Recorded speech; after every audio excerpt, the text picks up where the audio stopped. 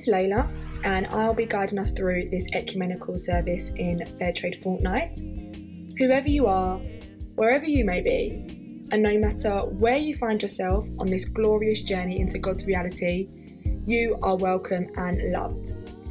I'm a Catholic, and what a blessing that all of us taking part today are wonderfully diverse in terms of religion, gender, and identity. The psalmist exhorts us to praise the name of the Lord from the rising to the setting of the sun, while calling us to witness how God raises the poor and the needy from the dust. Do not trust in the idols of silver and gold, says the psalmist, but trust in God alone. Today, we gather to worship the God who shows us a preferential option for the widow, for the enslaved, for the oppressed, and for those stuck in a prison of debt. And so we come with faith and with determination, setting aside all fears and anxiety, and even demands to solve the world's problems on our own. We come expecting to meet the living God in the purpose of Jesus through the inspiration of the Holy Spirit, and we sing together our opening hymn, I Dream of a Church.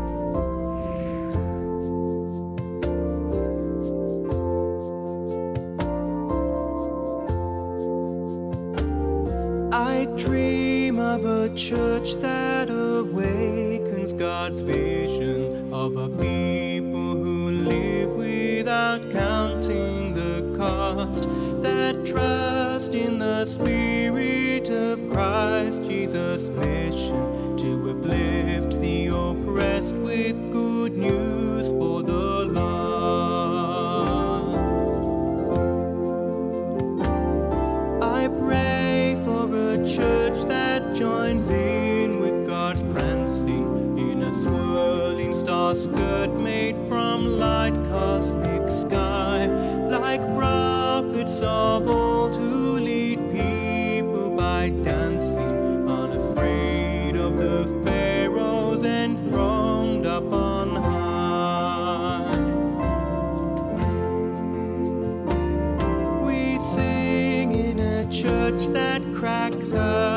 God's laughter, that rejoices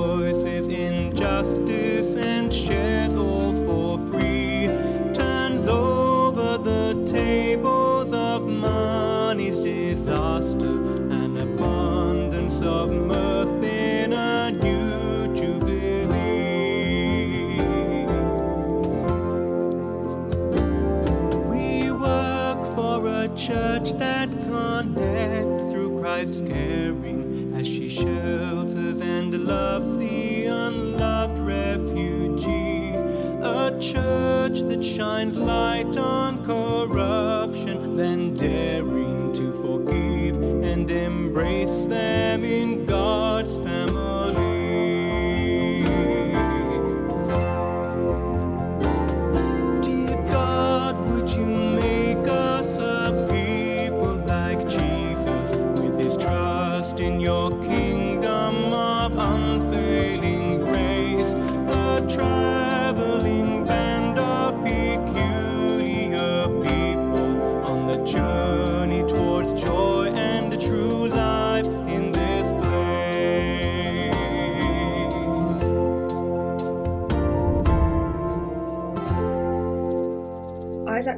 us in our first reading.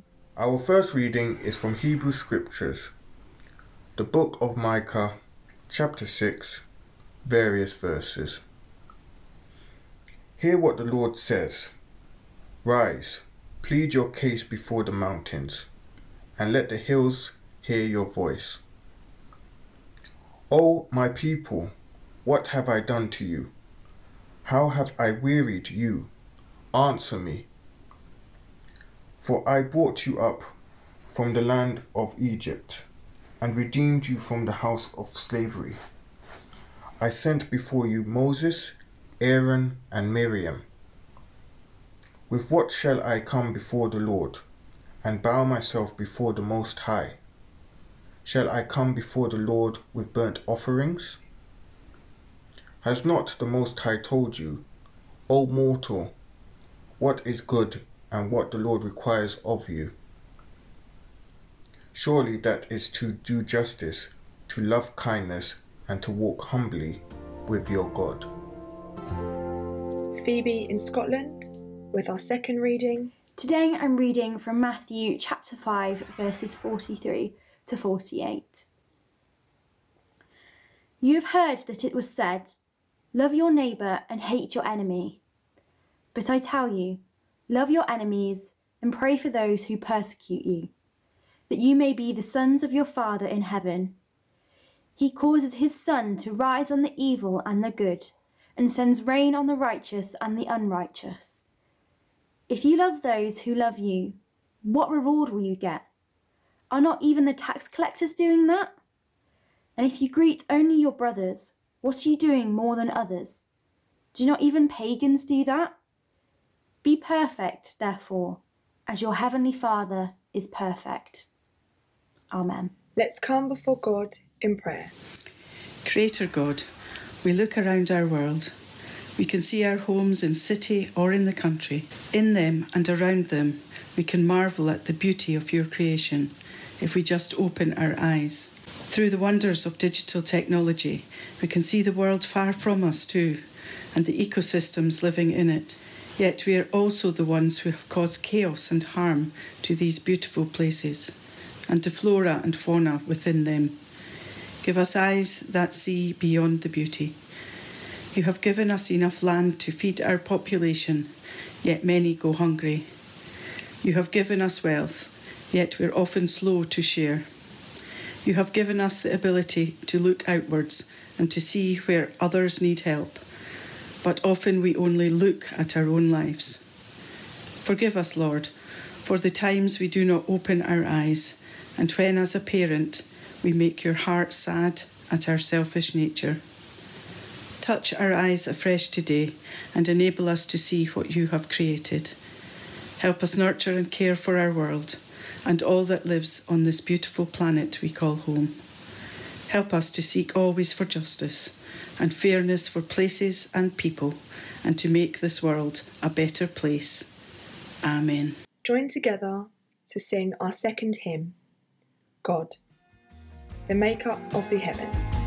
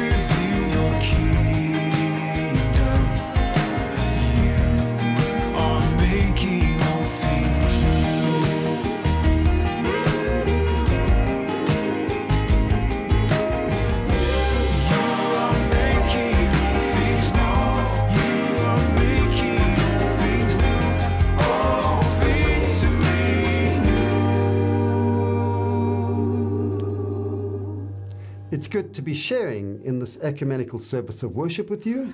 I'm Kevin Snyman from the United Reformed Church in the UK. And wherever you are in the world, and indeed wherever you are on life's journey, you are very welcome in this virtual space. I grew up in South Africa and I do pine after the African bushveld. It gets into your soul, and those of you who've been will know what I'm talking about. I love the evening chorus of the guinea fowl or the dazzling flight of lilac breasted rollers, and sitting quietly at a waterhole watching the majestic elephants come down to drink, or watching the bustling wildebeest jostling one another to get the best spot for a cooling drink. One of my roles in the United Reformed Church is oversight of our Global Justice Program. And I can tell you that we in the mission team have sleepless nights over the threat posed by climate disruption not only for the wild places of the earth, but also for the lives of farmers in some of the most vulnerable regions of the world. Places like Honduras, Guatemala, Nicaragua, not to mention Bangladesh, Zimbabwe, and others. We know that these farmers and their families have contributed least to the climate emergency, but they are kind of at the forefront, at the face of the very worst effects of the crisis. The rise of COVID has torn aside our comforting illusion that the global economic system can somehow be made to work for the poorest. If anything, inequality has grown infinitely worse. Ethiopian Dr. Tedros is right to point out and to warn of the enormous moral failure of rich countries who get to vaccinate their people long before our sisters and brothers in, let's not call them poor countries, let's call them what they are, they are the exploited countries. We in the global north are behaving no better than those bullying wildebeest, shoving aside the weaker ones to get down to the water first. So, yes, while we do love mercy, and we may even want to believe that we walk humbly with God, but are we doing justice? Fair trade is an attempt to do justice. We know that. But why are farmers still struggling? Why is our trading system still balanced in favor of the powerful few? Farmers are finding the rate of climate change far greater than their ability to mitigate its effect or to adapt. And yet, even as we beg companies and consumers to pay a little bit more for their favorite drink or snack to help these farmers escape poverty and to adapt to the environmental shocks, still the strongest are enabled, indeed encouraged by the system, to shove their way to the front of the queue. The irony is, of course, that many indigenous farmers know their lands, they know their, their techniques, they know their, their crops far better than we do. They are eco aware in ways that we can't begin to imagine. But somehow our economic system encourages those people to ignore the indigenous knowledge in pursuit of profits for large corporations. Fair trade is one of the few pushbacks against the system. It is one small attempt to bring about some kind of equity in what is a relentlessly unequal economic environment. But we do need so much more. As a Christian, I want to start with Jesus. But I do think that the way that we've been taught the gospel is a problem certainly the way that I was taught to read the Bible growing up in Africa would have been consonant with David Livingstone's three C's, you know, civilization, commerce, and Christianity. But as African womanist theologian Isabel Phiri reminds us, Africans by and large experience the gospel as a tool of colonialism, of racism, of sexism, of classism, and indeed of exclusivism. The author of The Color Purple, Alice Walker, tells us this. When I was 13, I stopped going to church because I felt that they had taken this huge, amazing, incredible godness and whittled it down uh, and stuck it into a church every Sunday when people were really too tired to listen and fell asleep because they were exhausted from still being slaves. Our mission team in the URC is grappling with the growing realization of the deep and largely unconscious nature of white privilege we've discovered that we are still deeply complicit in the legacies of the transatlantic slave trade. All of us benefit from the way our economic systems are arranged precisely because they still reflect the inequalities of those awful times.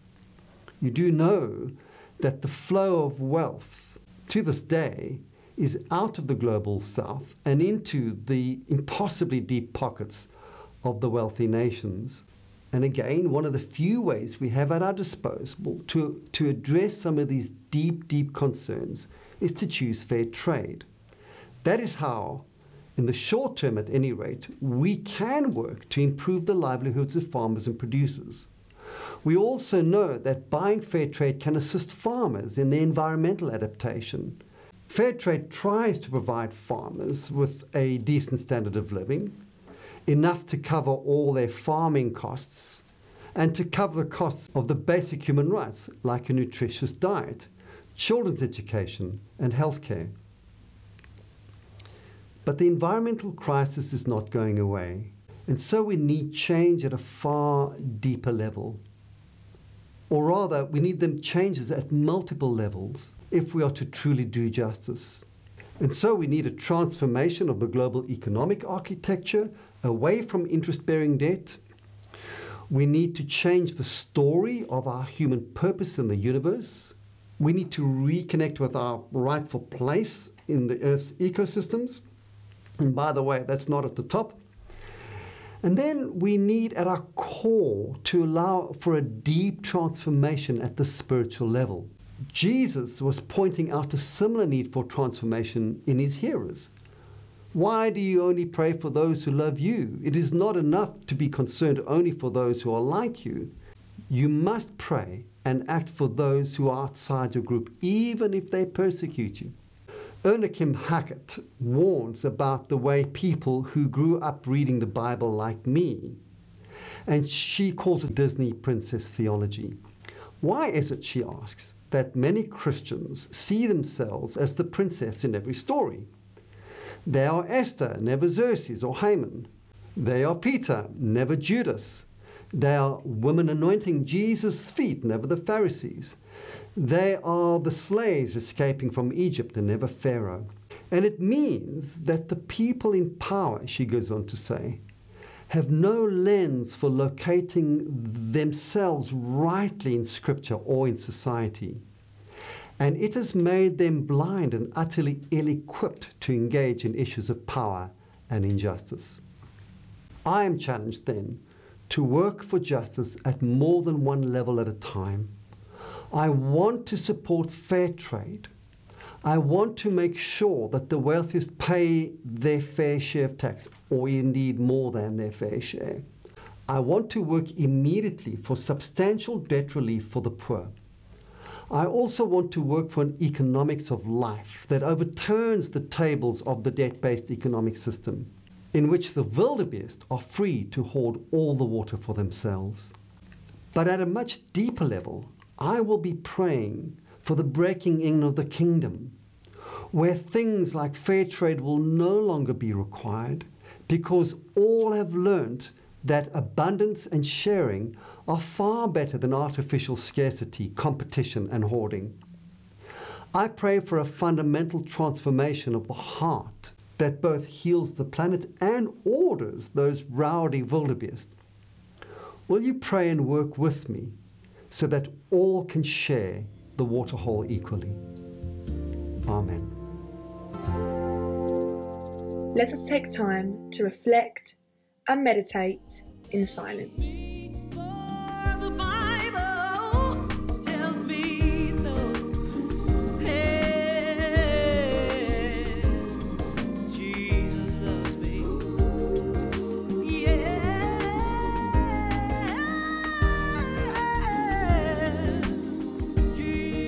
Fair trade on its own cannot and will not solve the deep economic injustices of the current system.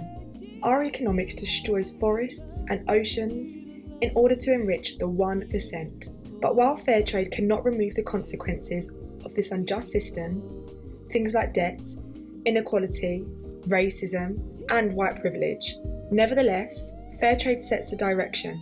It makes a promise. It points us towards somewhere with hope. So, as people of faith, in this of all that works against life in all of its fullness, let us not neglect to take that first step.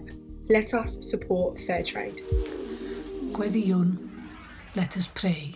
We pray for farmers and producers across the world who are living with the ravages and fear of climate change, threatening their livelihoods and income. Gweddiwn dros deuluoedd a phlant sy'n gweld eu cnyda'n methu yng nghanol stormydd a llifogydd a sychder, ac sy'n byw o ddydd i ddydd heb wybod o le y mae eu pryd bwyd nesaf yn dod. We pray for world leaders and scientists.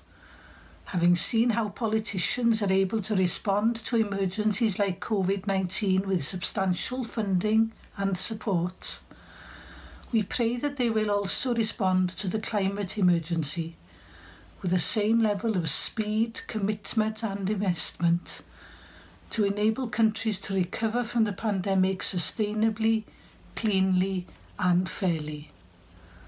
Gweddiwn dros bob mudiad sy'n gweithio ar lawr gwlad mewn cymunedau tlawd, i ganfod a hybu dillia amgen o amaethu i warchod y ddeiar ac amddiffyn yr amgylchedd, ac i sicrhau ffyniant y bobl and we pray for ourselves that our commitment to justice may bear fruit in our lives, in the choices we make, and in the priorities we set ourselves.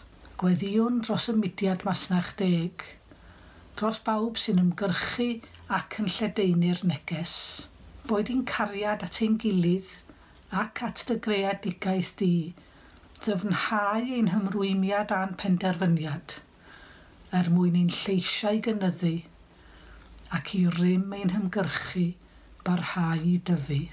We ask these things in the name of Jesus Christ. Amen. Join in together for our final hymn.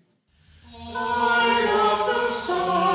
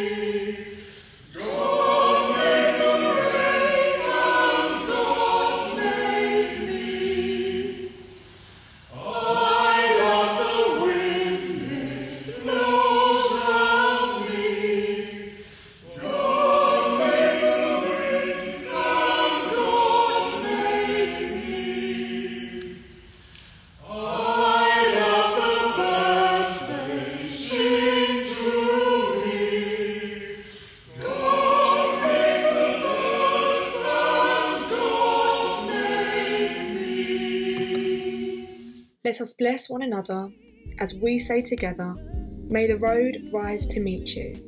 May the wind be at your back. The rain fall gentle upon the earth. And until we meet again, may God hold you in the palm of God's hand.